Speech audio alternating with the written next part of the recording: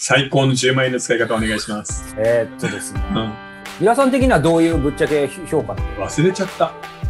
なんか普通のこと言ってんなと思った。はい、こんばんは、していらです。こんばんは、竹井ひろなです。こんばんは、早川洋平です。さあ、始まりましたね。今回は、え、自己投資。はい。でも、この言葉ってさ、実は、は僕が若い頃ってなかったんだよね。あ、そうなんですほとんど聞いてない。へだから僕たちの頃、そういう自己啓発本っていうー枠もあんまりなくて、うん。あったのはね、カーネギーの道は開けるとか、人を動かすとか、はいはい。あ、と、あの、マーフィーの成功法則とか、はいはいはい。うんあの、引き寄せのごく初期のやつね。はい。その辺がポツポツあるぐらいで、ジャンルとして自己啓発本とか、はいはい。えー自己投資みたいなのは基本的になかったね。うー。ん。でもいきなりね、あの、辛口になっちゃあれですけど、冒頭で、イイラさんが知ってる、いわゆる今のカーネギーとかね、マーフィーっていう、イラさんから出てくるっていうのはちょっと意外だったんですいや、逆に割とそのカーネギーとか読んだよ。だから、なんかいい悪いじゃないですけど、そこは今逆に言うと、うん。なんか、いや、自己投資というよりは、あのー一つのなんていうの？ビジネス上の古典みたいな感じで残ってはいるので、ずっとカーネギーは。うん皆さん的にはどういうぶっちゃけ評価なんですか？それ読んでみて。忘れちゃった。なんか普通のこと言ってんなと思った。ああ、まあ別にすごい悪いわけじゃないけど、うんまあ普通のことをきちんと書いてるな、みうんたいな。うんうん。だから7つの試練よりは全然いいけど、言っちゃうん。七つの習慣。はい。あ、7つの習慣ね。7つの習慣よりは全然いいんだけ正しいい直さなくていいからど、え はいうんでもまあ、まあ、普通のこと言ってんな。人のいいおっさんだな、ぐらいの感じかな。うんうん。なるほど。うん。今回ですね、まあ今、イラさんが少し冒頭言ってくれましたが、先週の放送の最後にもお届けしました、今回この自己投資、はいえーなぜ今回このテーマになったのかということなんですが、このオトラジのですね、会員さんからこんな質問いただいてきたんですね。なので今日、まあここの質問、まあ答えは最後だとしても、一応こういう質問からなんです。えーあなたも真似できる価値ある10万円の使い道を聞きたいです。1万円などでも良いのですが、ポイントを真似しやすさとし、えー皆さんが思う最も価値あるお金の使い道をお伺いしたいです。えー投資がメインになるように思いますが、自己投資なのか、株なのか、本なのか、経験なのか気になりますということで、ここからなんですね、今日のね、着想ね。うんなるほど。10万円ね。悩むすね。ね。それ最初に言っちゃう？それ。わあ、最初に最初言っちゃいます言っちゃいます？最さどうしましょうか？いや、最初でもいいんじゃない？面白いし。全然いいですま。しょうか？うん。はい。じゃあ、えー僕はですね、えーはい。最高の10万円の使い方お願いします。えーっとですね、うん。ちょっとプレッシャーですね。しかも最後に話すと思ってたんでうんあれなんですけど、えーっと、僕はですね、えーちょっとマニアックなんですけど、具体的な、超具体的に差し控えたいんですけど、うんあの、僕、結構インターネットでできるような仕事してるじゃないですか。はいはい。うんで、それと逆でですねう、ん実業でリアルで、うん。えーまあ、簡単に言うと人の体を治療するような、あうんるちょっと、えっと、ただの治療師じゃなくて、うん。えーちょっとか先端の科学を組み合わせた治療師を面白いなと思ってて、へえ。えーそれのための、うんえーまあ、オンラインでちょっと学べることがまずあるので、うん。実はそれだけ、それ10万円じゃとても時間もお金も足りないんですが、うん。まずはちょっとそのことに10万円お金を使いたいなと本当ちょっと真面目な、いきなりオープニングにしては真面目すぎますけど、でも、まあ、そこですね。え、自分それはどんな治療をするの？うんまあ、すごい簡単に言うと、うんあの、まあ、イラさんに話したかもしれないですけど、まあ、すごくし国家資格でいけばあんまマッサージ師なんですよ。うん。あんまマッサージ師なんですけど、その先生のやってる治療法が、うんまあ、ちょっと量子医療みたいなものも入ってるんですよ。うん。だから、なんて言うんでしょう。まあ、これからの時代に多分一番即してると思うんですね。うん。で、まあ僕やっぱいつでもどこでもできることっていう感じでうんインタビューの仕事を選んでるんで、うんもう一つ実業でいつでもどこでもできて、器具も場所も道具も一切いらないじゃないですか。うん。うん。その、まその治療師。なので、えっ、と、それは面白いなと思って、うん。えー考えてます。ちょっとガチの答えだったけどいいんですよね。最先端の医療系のものに10万円を使うってことね。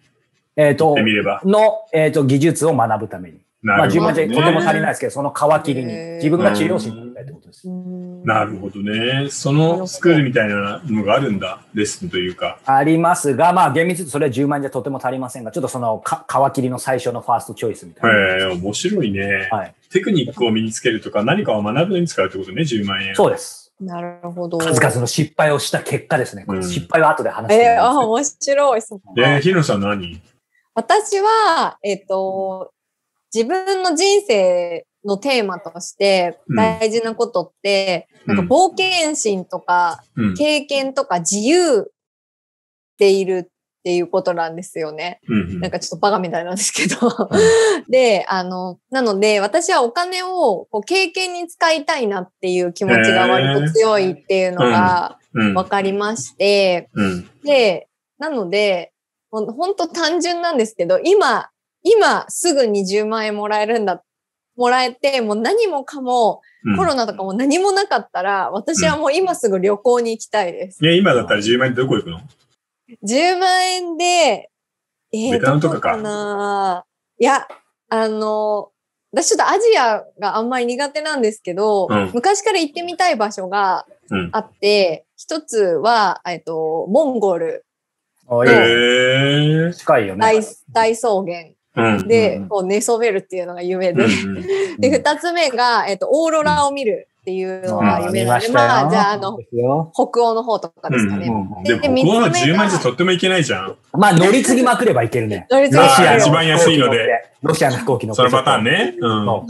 で、あ、そうロシアで今、ロシアで思い出しますけど、あの、シベリア鉄道鉄道。うんもうちょっと乗ってみたいなとか思ってたりとか、あと3個目が、あれです、あの、早川さんの言ってた、あの、えっと、アイルランドの、うんい行ったことありますよね、早川さん。アイスランドで。アイスランド、ごめんなさい、アイスランうんド。アイスランドの ブルーラグーンって温泉が大好きなので、ああ、ちょうど今日も原稿書いてたよ、その本話。当ですかそう、ブルーラグーンに入るのが夢です。まだこの3つはいけてません。はい。最高だよ。でもさ、10それ聞くとやっぱ全然違うね。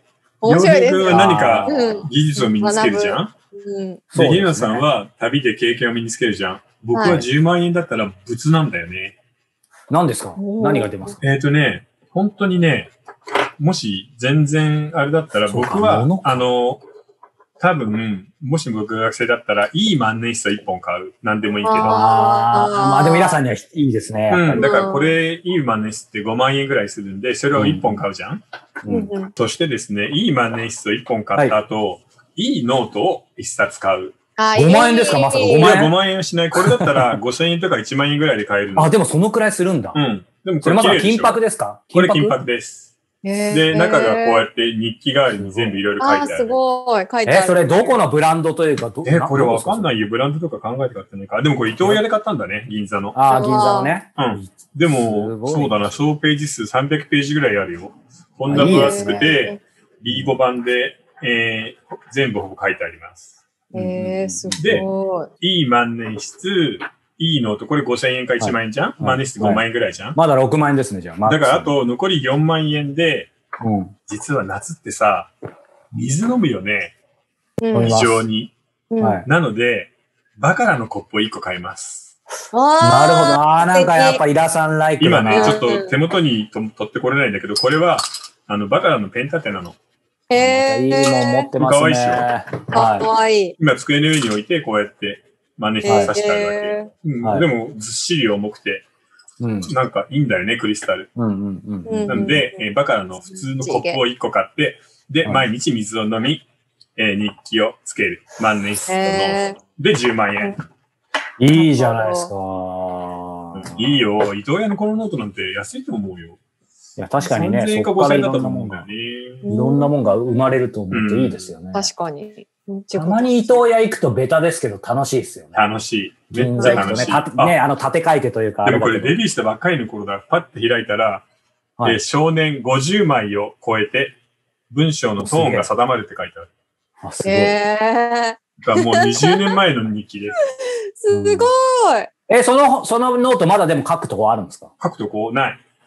最後までいっ行った。ぱいいっぱい。すごいえー一番最後は、少年脱稿の疲れが残り、ヘロヘロになる。すごいな。これ、石田イラファンたまらないな。えー、すごい。え、でも、あれですよね、イラさんやっぱ日記というか、ちょっとそういう書き留められますよね。うん昔から。そうだね。うん。なんかそれはもうずっとなんですか、うん。あの、学生の頃からメモとか日記とかつけてたね。えー素敵だな、うんいや、でもいいんじゃない、へいいよ。いいですね。三三者三様でしたね。いや、うん本当面白い。今のだけで面白かった。ねえ。でも、いいよね、こういうの違うんと。だ。こんなのもあるよ。あの、あ、すごいすごいなんかあの、竹みたいな。そうそうそうそう、あの、木の涼しげ。皮で編んだようなノートで、中は普通の罫線のないうん。やつで、これもほら最後まで書いてある。全部うん。え、でもイラさんどうです？あの、聞きたいんですけど、うんやっぱり衣良さんなんだかんだというか、ノートとかそういう、まあ、いわゆる、ちょっと気分が上がるというか、はいはい。そういうものが多いイメージがあるんです。例えば、まあ、あんま具体名出すとあれですけど、普通のなんか90円とかのノートとか、うんうんなんか大学ノートみたいのとかを、うんあの、そまあ、僕はたまに使ったりもするんですけど、やっぱああんまりそういうのは使わないんですよ。やっぱね、日記とかはね、意外とずっと書くし。気持ち大事ですよね。うん、取っとくものじゃない。うんこれ20年前のやつがこうやって残ってるからさ、ちゃんと。だからできればちょっといいので奮発して、いいのを使でいたい。ね。万年筆、日記とかに関してはこういうちょっといい銀の万年筆とかで書くっていう。うんうん。やっぱりお金ってその人の価値観とかタイミングとか出ますよね。出るね。だから結局、形があって残るものを割と求めるんだろうね。世代が違うから。うん。ううんん。日野さんは体験じゃん、うんはい。そうだよね。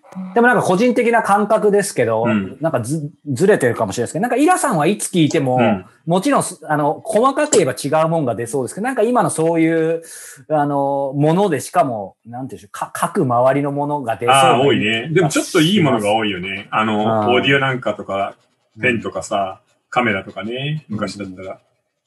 なんかどう？ヒロナさんとかちょっと抽象的な質問だけど、いや、僕はさっきね、このタイミングだからさっきの答えだったんですけど、うん。結構5年前、5年後だったら多分全然違うもんが出てくると思うんですよ。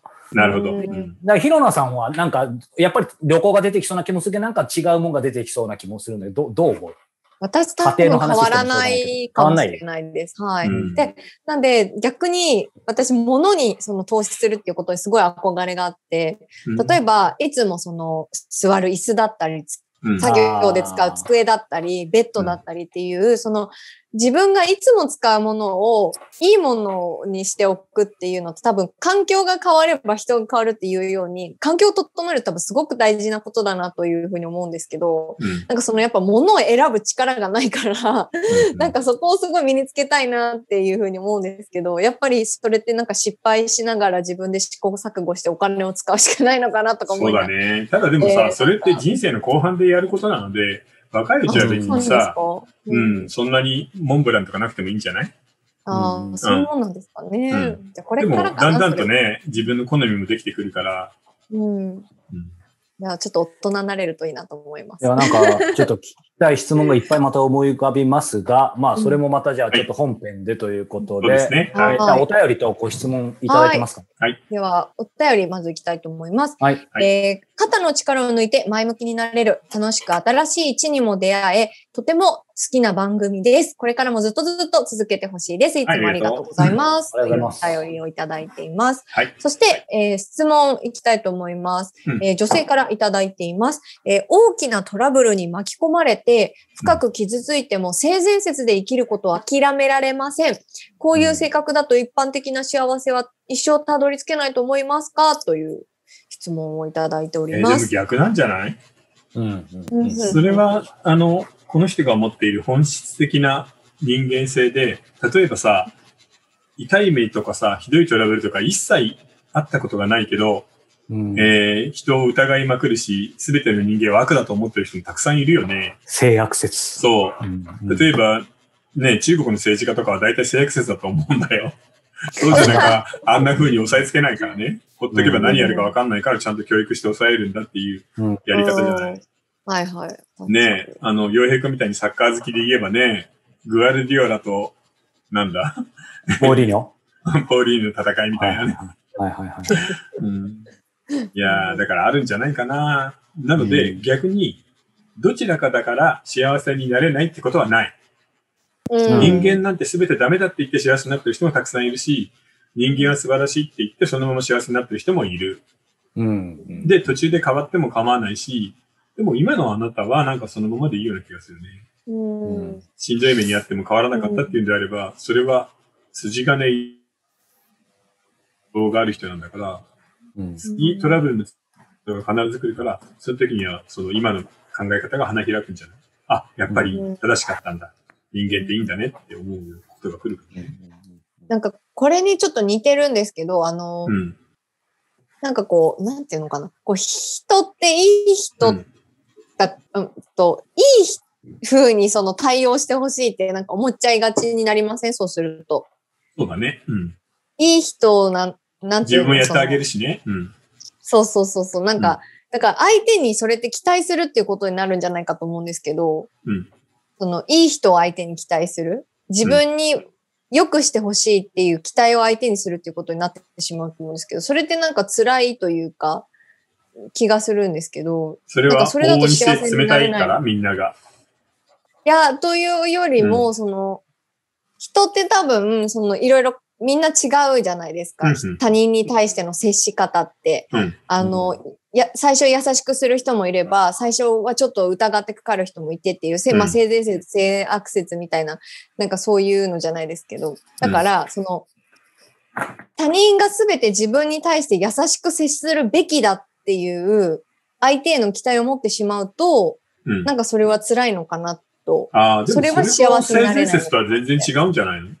人の本質は善であるっていう考え方と、みんなが自分に良くしてくれるのが当たり前っていうのは全然別なので、それはなんかある種の甘えみたいなものじゃない？うん人のいい悪いではなく。でも、あれっすよね。今のごめん、平野さんの話とまたじち若干違うかもしれないけど、なんか昔さ、うん。自分の話になっちゃうけど、なんかそのやっぱり、依頼と依存の違いとかさ、うん。期待と依存の違いみたいなので、やっぱりう、ん。なんか自分がこれだけしてるからこう返してもらいたいとか、うん。してほしいとかって思ってた時はすごいやっぱね、そ、そ、そ、ああ辛いね。うん。すごい辛くて、でもそれってやっぱりある意味だから依存してたんだなと思って、うん。なんか、うん。で、僕も極端なんで、その後ある意味そう、そしたらもう性悪説な、みたいな感じで、最初から人に一切もう、あの、依頼どころか期待もしなければ残念になることもないみたいに思ったんだけど、うんでもそれはそれでやっぱ寂しいじゃないですか。そうね。それにそういう方が弱いからね。そうそうそう。うんだから、なんか途中から今話しながらですけど、うん全然まだまだですけど、やっぱりなんか期待は別にしてもいいと思ってて、うん期待はするけど、まあい依存しないというか、まあそれで帰ってこなくても、まあいいやみたいな。なんか、そうなったらちょっと楽楽になったんですよ。だから、イラ、イラさんどう、どうです？イラさんはだから、そう、僕らともこうやって組んでくれてますしうん、別に人を期待してないとかはないけど、でも、いざ、例えば変な話ですけど、チームが解散したりしても別に多分困困らないというか、すごいショックで、みたいな。つまり依存はやっぱりしてないと思うん依ですよね存性はあんまりないかもしれないね。うんそれってやっぱりほら、仕事柄単独の仕事だからね。うん一人きりでやるっていうのがベースになってるんで、あまりその誰かが良くしてくれるみたいなことを期待することはないんだよね。でも、基本、イラさんの本の独語感じゃないですけど、うんやっぱり、まあ、性善説、性悪説みたいに100ゼロでは切れないでしょうけど、なんかやっぱり人とかを、うんの可能性とか、な何かを信頼、信じてる感じするんですけど。まあそれはでもベースにあるのかもしれないね。時代の問題だと思うけど、それは。時代。うん。だから、進撃の巨人が絶望から始まるみたいにさ、やっぱり日本がなんか賑やかで元気だった時代の精神性みたいなのが残ってるんじゃないかな。うん明日は良くなるとかさ。ううんうんんうん。進撃の巨人は、なんて世の中、世界は残酷なんだで始まるわけじゃん。お母さんがが多いですよね、食べられて最近。はね。うんうんうんうんなるほそう考えると、それぞれの時代のなんか、心のあり方ってあるよね。今はそれが多分、性悪説の方に傾いてるんだと思う。ど。そうですね。でも、どっちが正しいなんてことはないんだよ。うんどっちもただの思い込みだから。うん世界はそういう善悪とかさ、良い悪いとか何にも関係がなくて、そうただないっすもんね。あるだけだから世界。うんうんうん。うんうんうんうん。面い白い。やいいですね。なんとなんとも哲学的な。でもはい面白いね。でも僕はなんか本当今のままでいいと思うよな、この人は。別にトラブルになったからって自分を変えることもないし、性悪説になったから生きやすくなるなんてこともない。うん。うん、そっかそっかそっか。うん。結構、イラさんがこの番組で今も言ってくださってる、なんか僕らがまことしやかに A か B かとかみたいに言ってることを、実は A でも B でも C でもなく、そもそもねえよみたいなね。そういうのいいですよ。うんでもなんか考えたらさ、それってあれだよね。ブッダのやり方だよね。いや、そう思いますね。世界には苦があるか、世界にも苦もないみたいなさ、うん般若心経になっちゃうよね。そもそもね、最初にあの聖書とかなんかでしたっけ、まず言葉があったみたいな。やっぱり言葉が生まれてからそういうのが生まれちゃったみたいなのもありそうそですよね。そううそうそう。名前を付けるうちに区別するようになるんだよね。うんうんうん面白いいや面白いですねね。さあ、ということで今日のメインテーマを忘れかけましたが、ね、はい戻って、はいまあ自己投資ですので、えーこの後ね、続き、まあこんな感じでね、ゆるく深く、えー多分今回テーマになりそうなので、この後続きを、えーご視聴いただけたらと思います。はいえーご視聴方法は3通り、えー YouTube メンバーシップ、えーニコニコ動画、えー、audiobook.jp、えーこの3つの方法で、えーお楽しみいただけますので、詳しくは下の概要欄をご覧ください。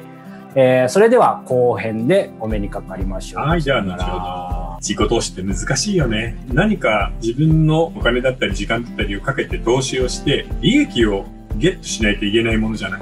でも投資って失敗することも本当に多いからね。だから答えを探し続けることで不幸になっていくっていうこの悪循環。だからさ、それがなんか人間の呪いじゃない。もう作家も自己啓発セミナーの人たちも一緒。答えがあるふりをしている。しんどくてもしんどくないふりをしている。皆さん講師向いてんじゃないですか。やったらでもすごそう向いてるですよよ。。